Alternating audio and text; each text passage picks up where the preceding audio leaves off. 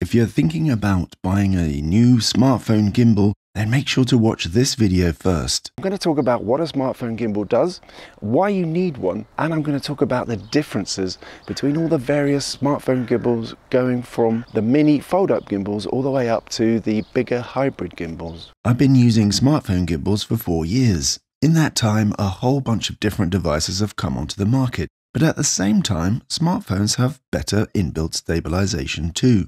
So do we really need a smartphone gimbal these days? In this video, I'm going to talk about why I still use smartphone gimbals, and I'm going to talk about how to choose the right gimbal for you. Most gimbals use the same basic modes, so I'll talk about how and when to use them, and I'll talk about how to get the best cinematic shots using a smartphone gimbal.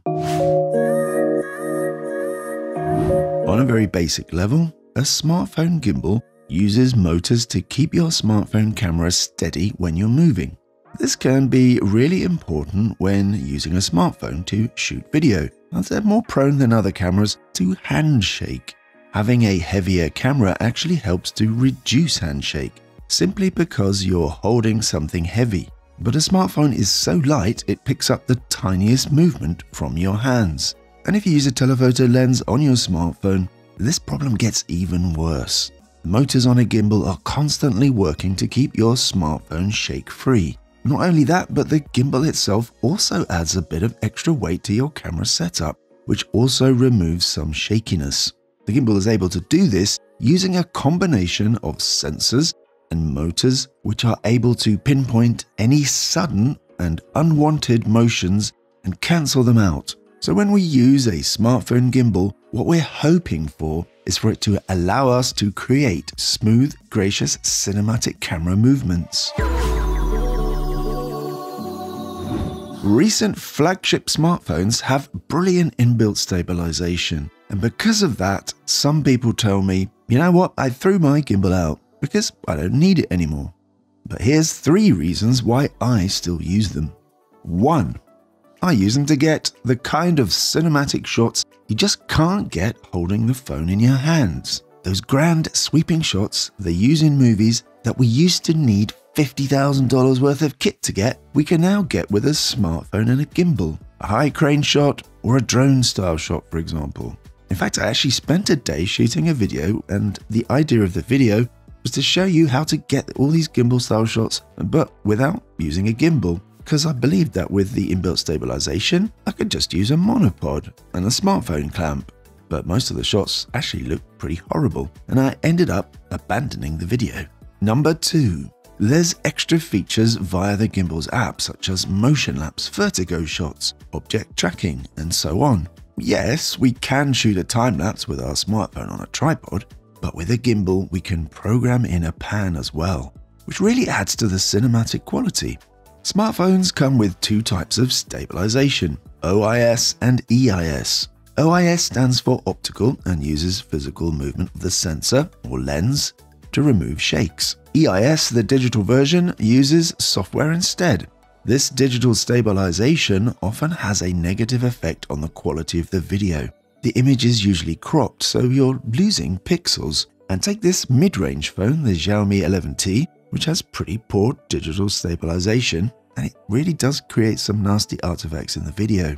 If you have a phone which only has digital stabilization, like the Xiaomi, I definitely recommend switching it off and using a gimbal instead. If you have a recent iPhone and an app like Filmic Pro, you now have the option to choose these cinematic stabilization modes. And these modes use software to make camera movement very smooth.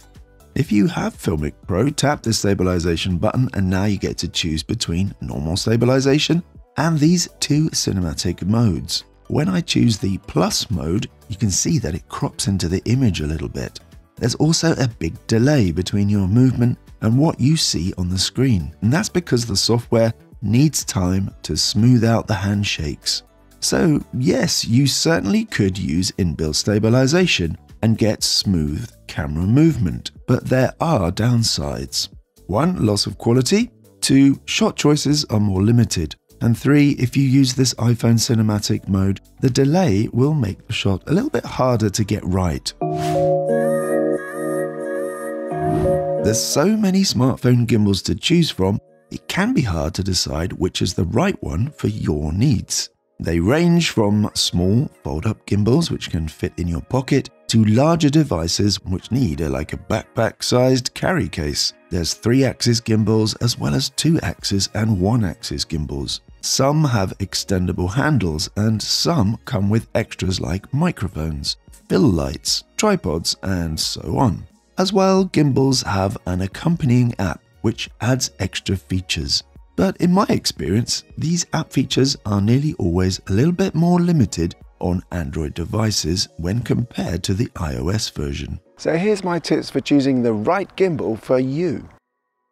Three axis gimbals have motors which control movement in three different directions pan, tilt, and roll. Pan is left to right, tilt is when the camera looks up at the sky or down at the ground. A roll controls the horizontal tilt of your camera. A one-axis gimbal only has a motor on the roll axis. The other two axes are fixed in place. And this kind of gimbal will be useful if you're only going to get shots where you move forward and just want the camera to stay level with the horizon. A two-axis gimbal has one motor for the roll axis and another for the pan axis, but the tilt axis is fixed, so you can do smooth pan shots and walking forward shots. But if you want to tilt up and down, then that's not so easy. The advantage is there's one less motor to go wrong, and the gimbal itself is somewhat cheaper. A one axis gimbal is going to be even cheaper still. So if you're on a tight budget and you're happy with less range of shots, you could opt for one of these gimbals which has fewer motors. Personally, for the work I do, I need all three axes. If you're looking for a device which is for more serious video work, then I would choose a three axis gimbal. Now, weight is important when it comes to choosing a smartphone gimbal. There's the weight of the gimbal itself, and there's the weight that the gimbal can carry. Apart from the weight aspect, there are gimbals which fold up and are therefore easier to carry around. Generally speaking, the foldable gimbals are also lighter. The downside of these gimbals is that they have a lower maximum payload. Meanwhile, other gimbals are sturdier, heavier, and less compact. The, the plus side is they can usually carry a heavier payload. If you want to shoot nicer vacation videos or you want a gimbal for vlogging purposes, then a lightweight, foldable gimbal like the DJI OM5 could be a perfect choice. Now the question is, do you have a big smartphone? or do you want to add accessories to your smartphone? Things like cases, cages, filters, lenses, or microphones. If so, then a smaller, foldable gimbal might not be a good choice. Because the next question we need to ask is, how much can your gimbal carry? Smartphone gimbals usually have a maximum payload. I looked at dozens of smartphone gimbals and found that the lowest maximum was about 200 grams. Meanwhile, the biggest I could find was the FeiyuTech G6 Max, which can handle 1.2 kilograms. And the new Zhiyun Crane M3 has no limit at all, because if you can balance the camera, the gimbal can handle it. Well, let's look at the different size gimbals available. For example, DJI says the OM5 can handle a maximum of 230 grams plus or minus 60 grams. That's a bit of a vague number, but we can at least say the absolute maximum is 230 plus 60, which is 290 grams. As an example, the iPhone 13 Pro Max weighs 238 grams just on its own. That means one of the big flagship smartphones is going to take up nearly all that motor power before you even think about adding extras. One thing to remember is that these max payload numbers are really just a guide. The gimbal isn't going to explode just because you go over that number, but it does give you a rough idea. With the DJI OM5, you could choose to go over that 290 gram maximum and the gimbal will still work. But if you do, getting the phone balanced well on the gimbal becomes a bit more important. As well, be aware by going over the recommended limit, you might be using the battery quicker, as well as wearing the motors out a bit faster.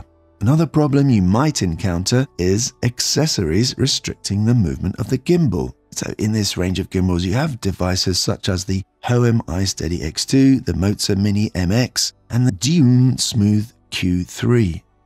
If you're more serious about shooting video with your smartphone and want the option to add accessories to the smartphones, then my favorite is the Zhiyun Smooth 5. The max payload is 300 grams, but I've gone higher than that without too much problem. Again, balancing your smartphone is really the key. This gimbal has the advantage of a regular smartphone gimbal because it's pretty easy to mount a smartphone and get shooting. A comparable gimbal might be the Zhiyun Crane M2, which is what's known as a hybrid gimbal. But personally, I found this gimbal to be a bit tricky to get the smartphone mounted and balanced correctly. One downside of the Smooth 5 is that the phone presses against the motor at the side, and this blocks the port where you might want to connect a mic. But personally, I record audio separately anyway, so this isn't an issue for me. Some gimbals are designed to be used with both regular cameras and smartphones, as well as devices like action cameras. And these gimbals tend to be bigger and bulkier, with stronger motors and a little bit slower to mount. As well, they are generally going to be more expensive. That said, I really enjoy using the Zhiyun Crane M3. It folds up quite small, but is still able to carry quite heavy cameras. There's also hybrids like the Moza Mini P, which can carry up to 900 grams, and the FeiyuTech G6 Plus, which can carry 800 grams. One strategy we can use to help balance an accessory laden gimbal is to use counterweights. The one problem with balancing smartphone gimbals, where the camera is, tends to be heavier than the bottom. To help solve this problem, some gimbals allow you to add counterweights. So for example, the DJI OM range of gimbals, like the OM3, OM4 and 5, have a place especially to mount counterweights. So you can use these to counterbalance the camera, especially if you're going to add lenses and filters to that end as well. Although they might have slightly different names, all smartphone gimbals operate using basically the same modes. In a three axis gimbal, there are three modes which are central to how a smartphone gimbal works. And these three modes each change how the gimbal's motors work. Put simply, a gimbal motor is either following your movement or it's not following your movement. When you switch modes, you're telling one or more of the motors to switch from following to not following, or vice versa. So just to clarify, a motor which we call locked is one which doesn't follow your movement and unlocked is one that does. When all three motors are unlocked, the gimbal motors follow your movements in all directions. This mode might be called FPV, which is first person view, or POV, point of view mode. When two motors are unlocked, the gimbal will follow your movements on the pan and tilt axes, and this mode is often called follow mode. Now, when one motor is unlocked, the gimbal will follow only pan movements, and this is usually called tilt locked mode or pan follow mode. So that's how the three basic modes work. But when and how should we use them? Different gimbals access modes in different ways. The DJI OM3, 4 and 5 gimbals need to use the Mimo app to access the modes, while the Zhiyun gimbals, like the Smooth 4 or 5, have a dedicated mode button and a mode indicator on the handle to show you which mode you're in. This makes the Zhiyun gimbals and other gimbals with a similar design easy to use without the app. The thing is, you are likely to get better quality video with your smartphone's native camera app, and that is especially the case if you have an Android device. If you can change modes with just the button on the handle, using your native camera is going to be easier. Okay, let's start with the most natural mode which is a mode called follow. And by natural, I mean this mode views the world in a similar way to people. Follow mode follows our pan left and pan right movements, as well as our tilt up and tilt down movements. And we're actually used to seeing the world this way, because during a normal day, we're going to mostly look left and right or up and down. And so that's why most of the time I have my gimbal set to follow mode. FPV or POV mode is almost the same as follow mode, except now the gimbal follows your roll movements as well. You can think of roll movements as rolling your wrist, which makes the camera move at an angle to the horizon. And this is not how we normally see the world. Unless we're sailors on a ship in a rough sea, we're not likely to view the world at such an angle. And therefore, this mode allows us to get more creative with our shots. Rolling our wrist as we push in on a subject is kind of more fun than just a simple push in. And this mode is great for creating exciting B roll shots for an upbeat montage.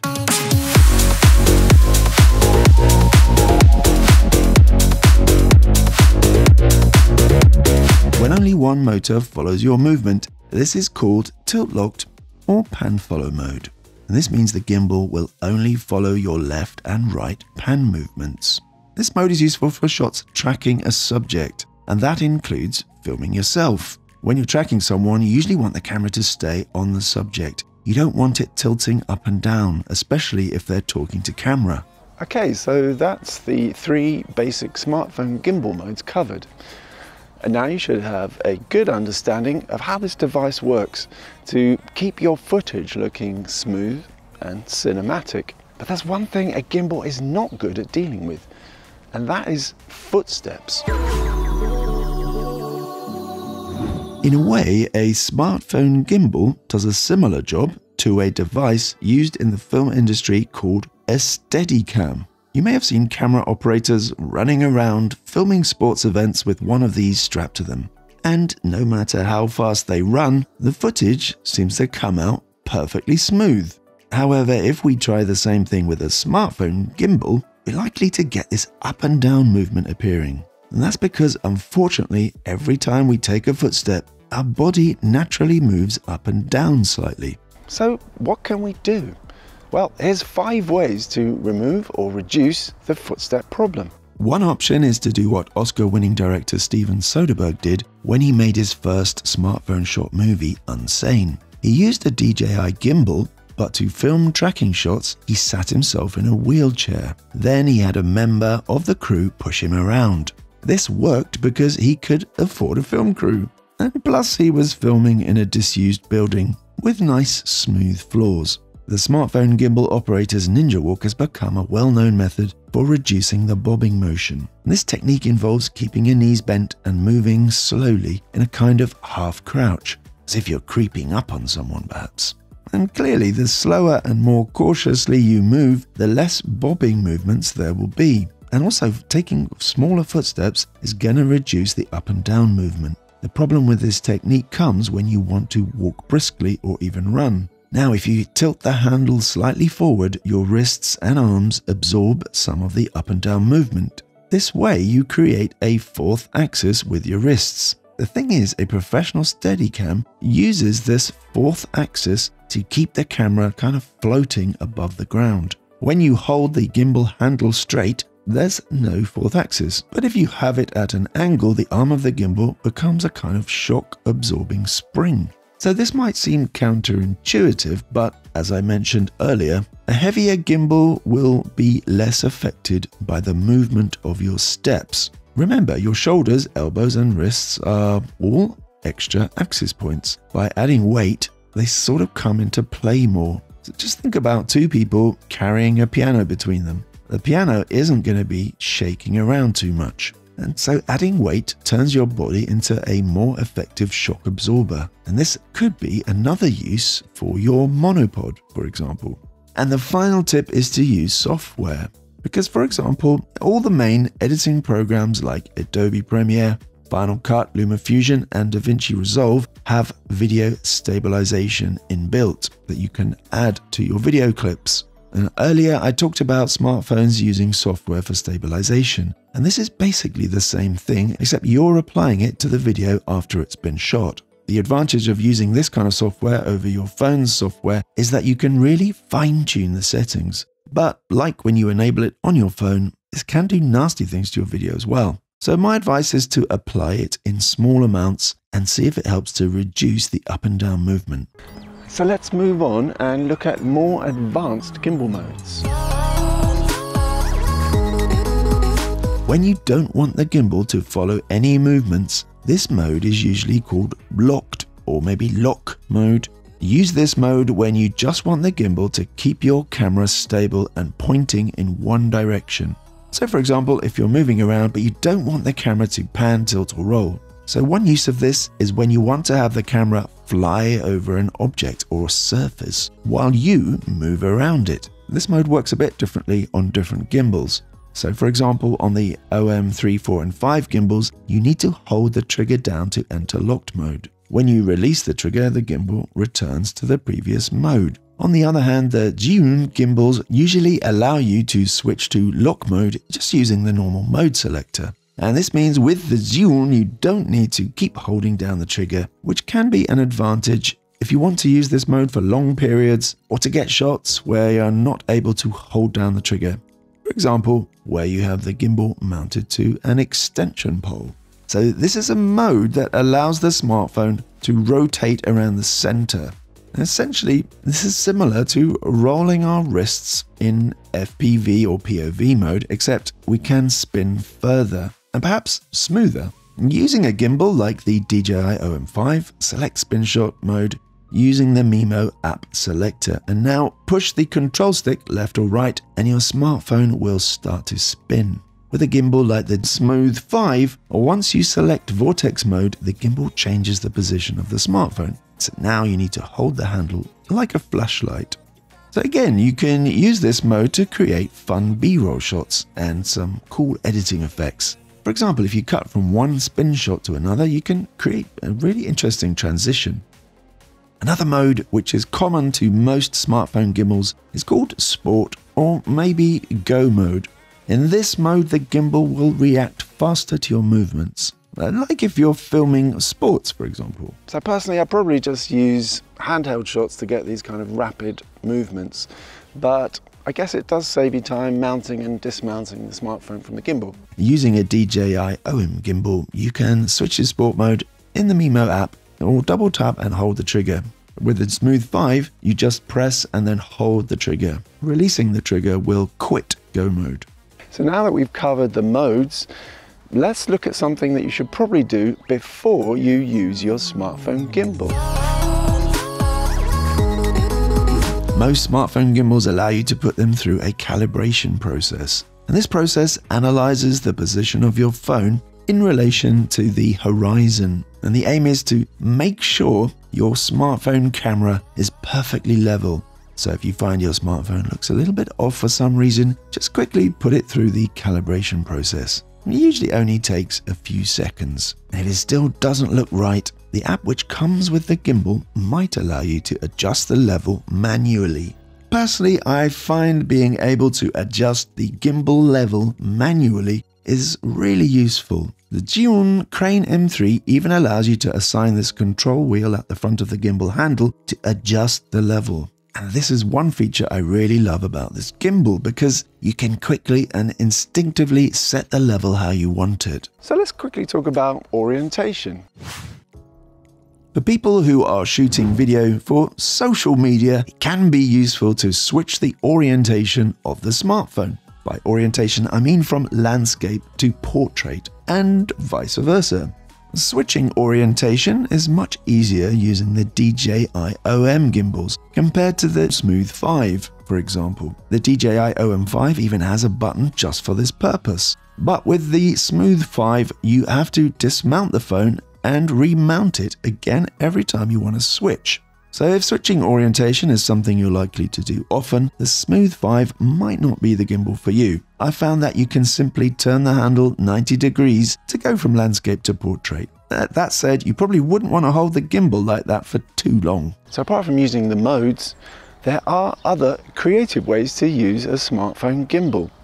So let's talk about using a gimbal with a tripod. Most, if not all, smartphone gimbals have a screw hole at the bottom which is compatible with all regular tripods. So if you want, you can mount your gimbal onto a tripod. And this can be a good idea if your gimbal app has an object tracking feature and you want to use it to film yourself. This then allows you to move around and the gimbal should track your movement. It's like having your own personal robot camera operator. Apart from a regular sized tripod, it's really useful to have a mini tripod. most gimbals, like the DJI OM5 and the Smooth 5, come with these mini tripods included. And if your gimbal doesn't, I recommend you get one. You can get them pretty cheaply online. So I'll leave some links in the description for that. because most of the time I just leave the mini tripod attached while I'm using the gimbal. Just fold up the legs and use it as a handle extension. And when I finished a shot, I can just quickly pull out the tripod legs and then rest the gimbal on a table somewhere while I work out the next shot. As well, you can use this mini tripod for getting time lapse or motion lapse shots. Place it on a table, for example, program in the shot, and set it running. And as well, you can use this for filming yourself with the object tracking, just like with a regular tripod. One of my favorite shots with a smartphone gimbal is a high shot swooping down. On a movie set, they will use a big camera crane and a trained crew, which costs lots of dollars. But with a smartphone, a gimbal, and a monopod, you can achieve this shot pretty easily.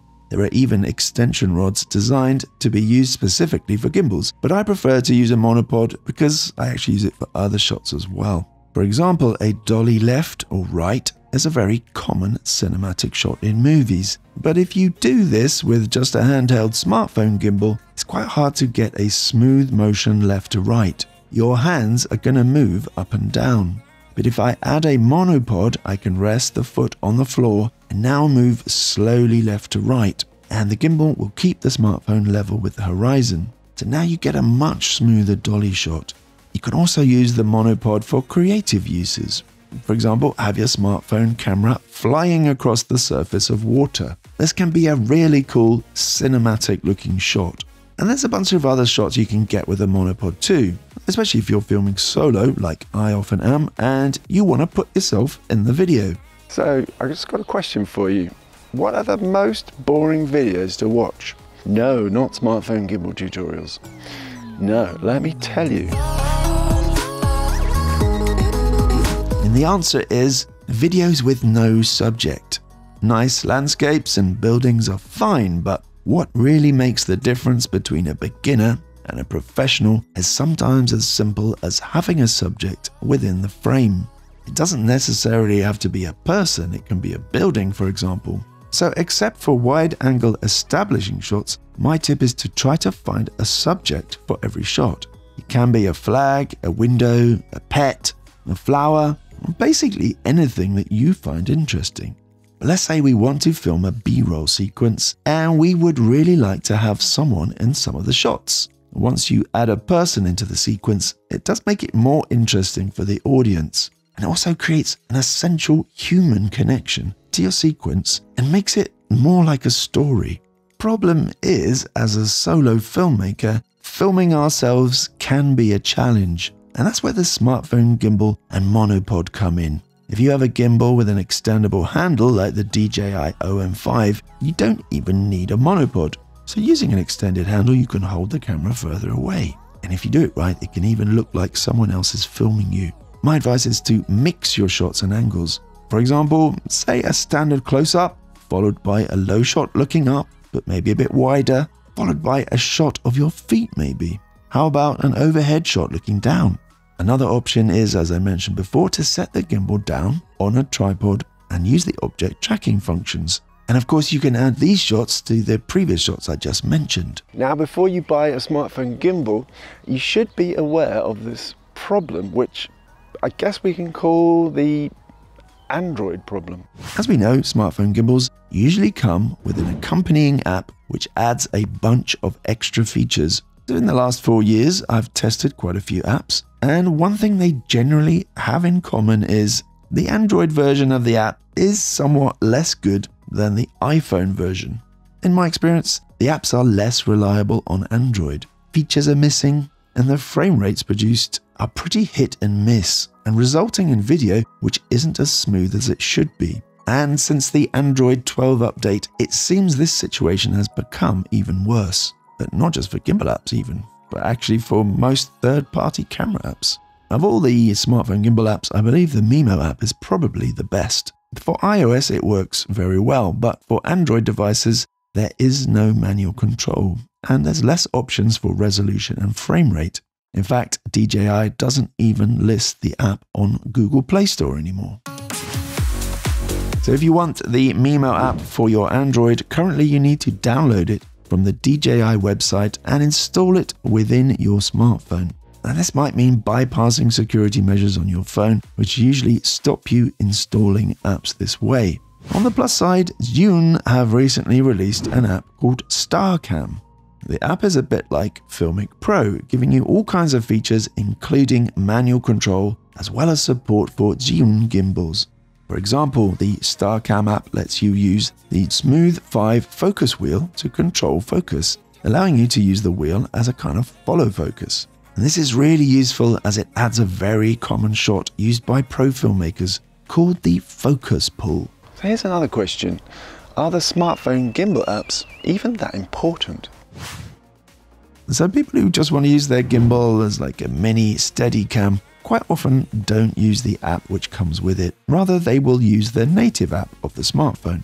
However, the apps do add some popular features. For example, the three lapses time lapse, motion lapse, and hyperlapse. All these features are used to compress time.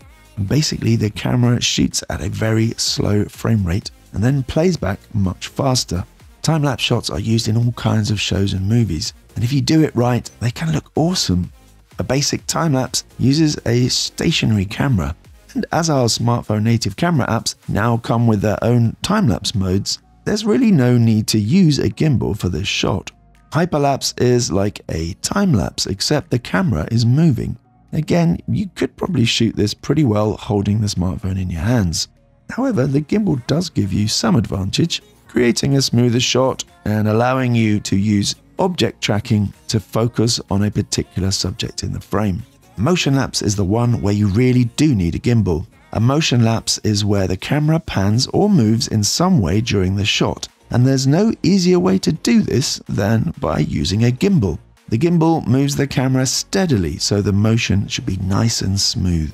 Smartphone gimbal apps often allow such shots as the vertigo shot. In the Mimo app, this is called the Dynazoom. Other apps have their own name for it probably. And this allows you to create an effect where the background appears to expand or contract. And if you get it right, it can look pretty effective. Another mode allows you to take photos with multiple versions of yourself within the same picture. There's things like DJI Mimo's Story Mode, which allows you to quickly create B roll sequences to music. And there's Zhiyun's ZY Cami app, which has a similar feature as well. There's quite a number of videos on YouTube which give you like 10 shots or 5 shots or the 8 best shots to do this and that. But my latest guide for members on Patreon tells you how to create your own shots using a smartphone gimbal. So once you understand the basic principles of shot creation, you can make shots anywhere, anytime, with any subject. You can use these techniques anywhere. I've also got a bunch of other downloads. There's my 170 page guide to smartphone filmmaking, as well as a guide on color grading. There's a deep dive into the film look and all kinds of other smartphone filmmaking knowledge that I'm adding to week after week to build up a really big, strong library so that you can master the techniques and become a professional smartphone filmmaker yourself. So that's it for this video. I hope you enjoyed it and I'll see you in the next video.